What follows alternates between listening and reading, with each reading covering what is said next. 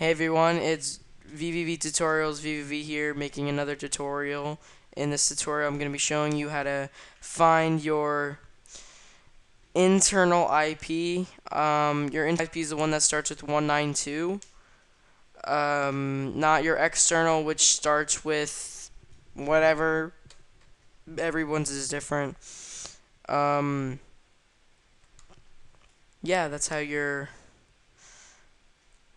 I'm not even gonna get into that, but uh, you're gonna to find it, you're gonna want to go to your start menu, and uh, if you're on Windows 7, just type CMD. If you're on Windows Vista, do the same. If you're on Windows XP, go to Run and then go to CMD.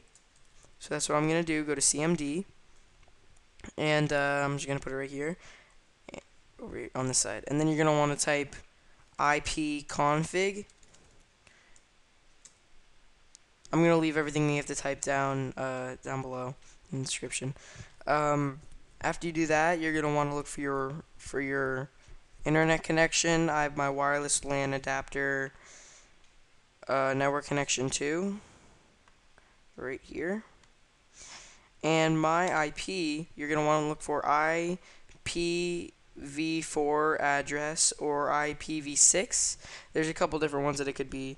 Just the one that starts with 192, but does not have one number in the last one, has two or three. Usually. I don't know. Uh, well, I do know, but it's sometimes it's complicated with your with your router settings. You can have two um, you could have three numbers in it, two numbers in it, sometimes one number in it. I don't know. Uh, you're not going to want to look for your default gateway. You're going to want to look for this one. Okay, mine is 192.168.1.102. And, um, yeah, that's what, whoops, that's what my default gateway is. I mean, I mean, that's what my internal IP is. And there's also one more way you could find your IP. You could go to your you could go to your internet connections right here. Uh, right click on the, if you're wireless, you could right click on it, go to status, go to details, and right here, IP4 address, um, 192.168.1.102. So, yeah, those are two ways to find your internal IP.